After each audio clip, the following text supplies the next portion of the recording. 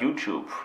Es ist lange her, um genau zu sein, sechs bis sieben Monate, dass ich mich überhaupt gemeldet habe. Das hat viele Gründe. Äh, Abonnentenzahl, die ja gigantisch groß ist, äh, nicht kleiner geworden ist, was mich sehr gefreut hat. Und ich habe jetzt letztens bei Instagram, wenn ihr mir bei Instagram nicht folgt, tut dies mit reinem Gewissen. Jakob Maxfit Frage gemacht, ob ich ein kleines Video drehen soll und man sieht so im Hintergrund, über was es gehen soll. Es wird auch wieder was zum Thema ähm, Fitness kommen. Ähm, Krafttraining. Ich bin gerade in der Vorbereitung zur deutschen Meisterschaft, aber dafür dazu in einem anderen Video. Es darum gehen, dass ich so mir ein paar Klamotten gekauft habe und generell Klamotten schon sehr, sehr lange äh, ein großes Thema für mich sind und ich mich schon immer gerne mit Mode beschäftigt habe. Bock dazu, weil ich gerade so ein bisschen ähm, auf so einem Hype bin, was Vintage-Sachen angeht. Ähm, also sprich Sachen aus den 90ern, weil die Sachen meistens irgendwie auch qualitativ, finde ich, geiler sind und äh, gerade ja auch so ein bisschen die Zeit ist, wo so die 90er, 2000er wiederkommen.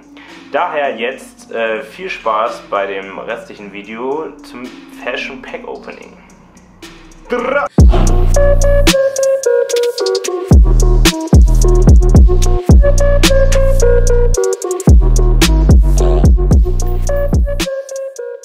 Wir kommen zum ersten Artikel, den ich mir gegönnt habe. Hat nichts mit den 90er und 2000ern zu tun, obwohl dieser Drop-Down-Schulterschnitt, das heißt, dass die Schulter tiefer sitzt, ist in dem Fall dieser Hoodie hier. Ich finde halt, man sollte Klamotten schon sehr viel tragen. Dieses Fast-Fashion-Ding, H&M, C&A, Zara etc., um die ganzen Namen zu droppen, wahrscheinlich auch die großen Firmen. Ich finde halt das Ganze nicht so sinnvoll und ich finde halt, man sollte halt Sachen lange tragen, deswegen finde ich diesen Vintage-Gedanken auch ganz sinnvoll. Gebe ich halt dafür dann mehr aus, erhoffe mir davon eine bessere Qualität und dadurch halt ein längeren, längeres Tragen. In dem Fall ist es ein Pullover von Sandro Paris. Diese Marke gibt es gerade im Alsterhaus, also ich, ein Kollege von mir hat mir das empfohlen.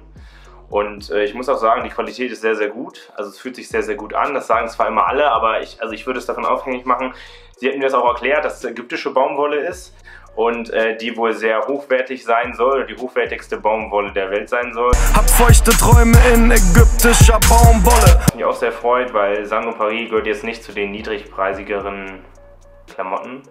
Also da kostet ein Pullover normalerweise 145 ungefähr.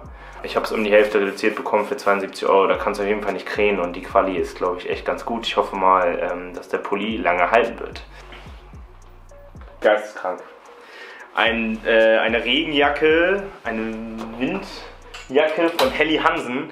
Ich weiß nicht, äh, die Leute, die in den 90ern geboren sind wie ich, äh, Helly Hansen war auf jeden Fall schon immer groß. Auch vor allem diese Puffer-Jackets, die es davon gibt, also diese Downjacken. Gab es ja auch gerade Neuauflagen und der Schnitt kommt auch wieder. Diese North Face Jacke, die auch gerade alle tragen, gefühlt. Äh, diese Downjacke ist halt auch genau in den gleichen Schnitt, das heißt sehr cropped, also kurz geschnitten, aber sehr breit. So wie alles ungefähr in den 90ern.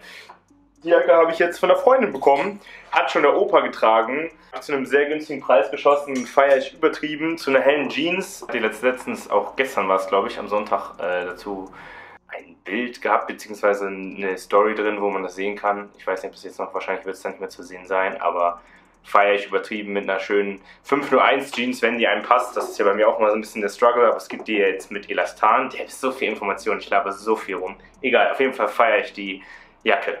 Eine Champion-Hose, einfach nur vorne eine Champion drauf. Ich mag das immer nicht so gerne, wenn das plakativ ist.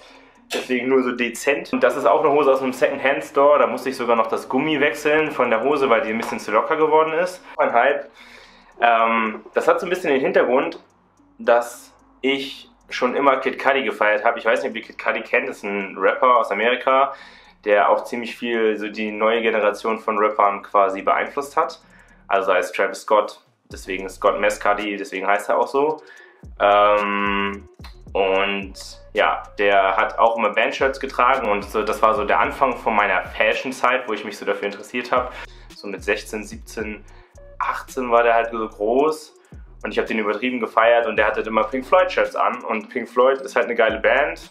Kann man sich auch streiten, ob ich mir jetzt Band-T-Shirts kaufen sollte, wenn ich jetzt nicht der geisteskranke Fan bin. Aber ich feiere diese T-Shirts aus den 90ern halt einfach. Das Shirt mein Shirt ist leider ein bisschen zu klein geworden, deswegen konnte ich das nicht mehr tragen dann habe ich mir ein neues geholt. Aber auch Secondhand um einfach so ein bisschen nachhaltiger nachzudenken. Klar, es gibt bei H&M auch gerade welche und C&A, aber es geht ja so ein bisschen um den Charme, finde ich, dass man auch T-Shirts aus der Zeit nimmt. Und meistens haben die Sachen aus den 90ern einfach auch tatsächlich eine bessere Qualität als heutzutage, was ich ja schon mal am Anfang des Videos erwähnt habe. Als nächstes habe ich noch ein krasses T-Shirt, ich weiß nicht, ob man sieht. Hinten ist auch noch was drauf. Ich weiß nicht, ob ihr ihn kennt. Brock Lesnar. Deswegen habe ich halt auch früher extrem gefeiert, so als Kind und als Jugendlicher irgendwie. Vielleicht kommt auch daher die Relation und das Interesse an Muskeln. Ähm, dass ich halt auch schon immer Muskeln haben wollte. Vielleicht liegt es auch so ein bisschen daran, macht natürlich Sinn. Auch so diese Action-Man- und He-Man-Figuren, die es so gab, habe ich halt immer übertrieben gefeiert. Vielleicht finde ich deswegen Muskeln auch nice und finde ich gehört auch irgendwie dazu und äh, ja, deswegen habe ich mir davon eins geholt und noch ein ultimatives habe ich jetzt letztens gesehen bei Urban Outfitters, stand aber auch wieder dran, dass es Vintage ist. Ich weiß nicht, ob ihr ihn kennt, Rest in Peace auf jeden Fall. Der Ultimate Warrior. Das ist sogar schon noch vor meiner Zeit, das war so zu der Hulk Hogan Zeit, der größte Konkurrent, habe ich aber halt auch übertrieben äh, geguckt so und fand es auch extrem cool ja, ich nicht vorbeigehen, gerade weil ich so auf diesem Trip bin, dass ich mir so Wrestling Vintage Shirts äh, kaufen wollte. Und dann habe ich letztendlich noch ein Teil, was heute angekommen ist, was ich mir jetzt auch bei eBay Kleinanzeigen gekauft habe, auch zu einem sehr günstigen Preis, auch gebraucht, weil ich finde, weiß nicht, warum sollte man nicht, also wenn man schon irgendwie konsumieren möchte, warum sollte das nicht auch preisgünstig gehen und warum muss es immer High-End-Fashion sein. Ich finde halt dieses ganze, diese ganze äh, Bewegung, dass alles irgendwie Balenciaga, Vêtements, Prada, Dior sein muss, finde ich halt Blödsinn. Ist halt einfach auch nicht meine Preiskategorie, muss ich sagen, gerade als Student. Ich finde halt irgendwie aus seinen Möglichkeiten das Beste zu machen, finde ich halt schon immer sinnvoll und das ist halt auch mein Anliegen, beziehungsweise meine Idee. Ja, das war jetzt mein Video zum Thema Fashion. Ich weiß nicht, wie es euch gefällt, ob ihr da Interesse habt. Ich habe ja auch relativ viel Infos dazu preisgegeben.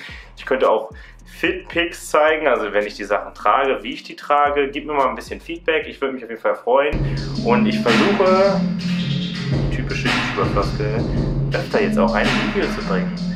Aber auch nicht nur zum Thema Fashion, sondern das nächste Video wird wahrscheinlich sein zu meiner deutschen Meisterschaft.